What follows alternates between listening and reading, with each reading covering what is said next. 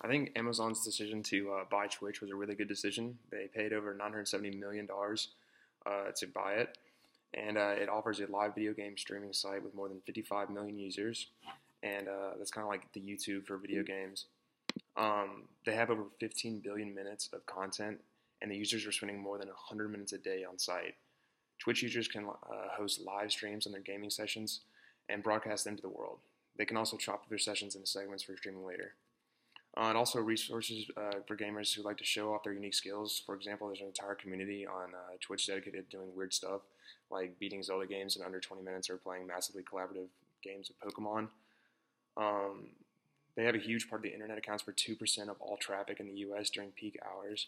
Twitch also accounts for 40% of all live stream internet content. And um, they only Netflix, Google, and Apple account for more traffic. Uh, Twitch even streams more video than Hulu. So altogether, I think um, it was a great decision by Amazon to um, purchase Twitch, and it's been really beneficial for them.